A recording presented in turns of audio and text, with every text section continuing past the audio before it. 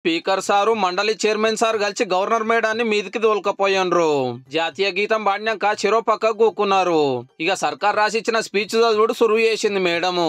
అందరికీ నమస్కారం. మూడు కోట్ల మేటి ప్రజల గొంతుకొకటి కోరికొకటి తెలంగాణ వెలసి నిలిచి ఫలించాలి భారతాన.